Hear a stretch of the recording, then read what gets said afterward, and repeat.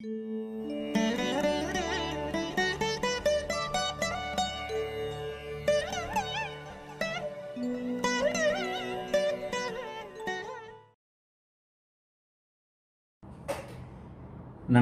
வணக்கம்.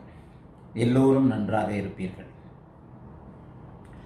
இன்றைக்கு வந்து பிரிமியம் வீடியோவில் ஏற்கனவே நம்ம கிட்டத்தட்ட ஒரு சனி வரைக்குமான திசைகளை பார்த்துட்டோம். ஏழு திசைகளை பார்த்துருப்போம். சுக்கிரன் சூரியன் சந்திரன் செவ்வாய் ராகு குருன்னு ஆறு திசைகளை பார்த்தாச்சு.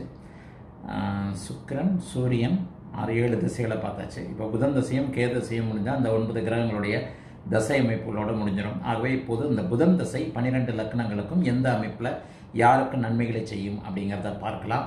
அதே போல் புதனுடைய அமைப்புகள் என்ன? புதன் என்ன தருவார் அப்படிங்கிறதையும் பார்க்கலாம். ஒருவருடைய ஜாதகத்தில் புதன் மட்டும் வலுவாக இருந்தார். அவர் தன்னுடைய சொந்த அறிவால் தட்டு தடுமாறி எப்படியாவது தன்னுடைய வாழ்க்கையை மிக அற்புதமாக அமைத்துக் கொள்வார் அப்படிங்கிறது தான் ஒரு மிகப்பெரிய உண்மை. ஆகவே எந்த ஒரு ஜாதகத்திலும் புதன் வந்து ஒரு வலுத்திருந்தால் அவர் வந்து ஒரு திறமையானவர். தன்னுடைய வாய்ப்பேச்சு தன்னுடைய இயல்பான திறமை அதாவது அடுத்தவருடைய உதவி தேவைப்படாமலே தானே தன் கையை ஊன்றி எழுந்திருத்து முன்னேறக்கூடிய ஒரு ஜாதக அமைப்பை கொண்டவர்கள் புதன் வலுவாக இருப்பவர்களாக இருப்பார்கள். எந்த ஜாதகமாக இருந்தாலும் சரி.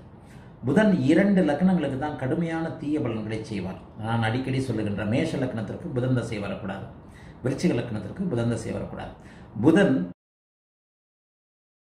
இந்த கேந்திராதிபத்திய தோஷம் பெற்றவரை செவ்வாய் சனி போன்ற பாவ கிரகங்கள் ராகு போன்ற கிரகங்கள் பங்குபடுத்தும் போது அந்த கேந்திராதிபத்திய தோஷம் இந்த அமைப்புல இருக்காது.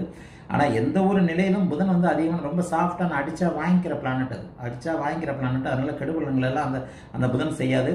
எந்த ஒரு நிலையிலையும் வந்து சூரியனோடு ஒட்டிக்கிட்டே போவார். சூரியன் தான் அவருக்கு ஒரு ஒரு ஒரு ஒரு அறிவாளியாக இருந்தாலும் அடுத்தவர் என்ன சொல்லுகிறார் அப்படிங்கிறத ஆசைப்பட்டு கேட்கிற பிளானட் அடுத்தவர் தன்னை வந்து எப்போவுமே பாராட்டி கொண்டே எதிர்பார்க்க இருக்கணும் அப்படின்னு எதிர்பார்க்கிற ஒரு கேரக்டர் புயலுக்கு புகழுக்கு மயங்குவார்கள் துலாத்திலும் ரிஷபத்திலும் இருக்கின்ற புதன் தன்னுடைய தன்னுடைய இயல்பை இழக்க மாட்டார் அதிகமாக அதிகமாக பண்ணுவார். அதே போல கடகத்தில் இருக்கின்ற புதன் நல்ல புதன் அல்ல. அவருக்கு வந்து கடக வீடு ஆகாத வீடு தன்னுடைய தன்னை தான் எதிரியாக நினைக்கின்ற தன் தாயின் வீட்டில் அவர் இருக்கிற நிலைமையில நிச்சயமாக கடக புதன் நல்ல பலன்களை செய்யறதில்ல. அதே நேரத்தில் சிம்மம் அவருக்கு அதிநட்பு வீடு. எத்தனை வீடுகளை நட்பு வீடுகளை விட முதன்மை நட்பு வீடு? நட்பு வீடுகளிலே அதிநட்பு வீடு முதன்மை நட்பு வீடுன்றது அடிக்கடி சொல்கிறேன் பாருங்க. ஆக இந்த அமைப்புல சிம்மத்தின் மேல் உட்கார்ந்து சிம்மத்தில் இருக்கின்ற ஒரு ஒரு புதனுக்கு அதிக சுபத்துவமும் அதிக அறிவுத்திறனும் உண்டு. அதிநட்பு வீடு நான் சொல்லுவோம்.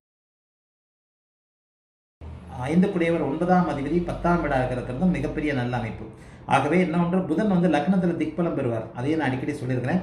இந்த லக்னத்தில் எந்த ஒரு லக்னமாக இருந்தாலும் திக்பலமாக இருக்கின்ற நிலையில் மிகப்பெரிய கெடுதல்களை செய்ய மாட்டார். அதையும் சொல்லிடுறேன் லக்னத்தில் அவர் திக்பலம் பன்னிரெண்டாம் வீட்டில் மறைந்த புதன் நிறைந்த பலன் தருவார் அப்படின்னு சொல்லப்பட்டது. பன்னிரெண்டாம் வீட்டில் இருக்கின்ற புதனுக்கு மட்டும் பொருந்தும். திக்பலத்துக்கு அருகில் அவர் பன்னெண்டாம் வீட்டில் கன்னியா லக்னத்துக்கு பன்னெண்டாம் வீட்டில் இருப்பார். அப்போ அவர் திக்பலத்துக்கு அருகிலும் உச்சத்திற்கு அருகிலும் இருப்பார்ன்ற போது நல்ல நிலைமையில தருவார்ன்றதுக்காகத்தான் பன்னிரெண்டு ஒன்றாம் இடங்களில் இருக்கின்ற புதன் வந்து கெடுபலன்களை தருவது இல்லை.